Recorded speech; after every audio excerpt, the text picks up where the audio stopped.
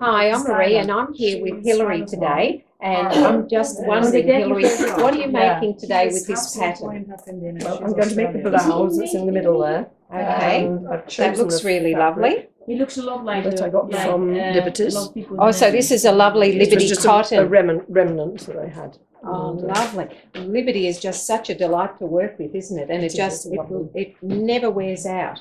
And so you're in the process, you've um, cut out your pattern That's pieces. correct. I'm about to the point where I'm going to start doing my you know, where the darts. That's good. I'm glad, Hilary, that you're going to market correctly with your tailor tack. So this is the exciting part now. Preparation, you've chosen your pattern and your fabric, your cut, and you are ready to go. Absolutely. Yes, yes, that's it.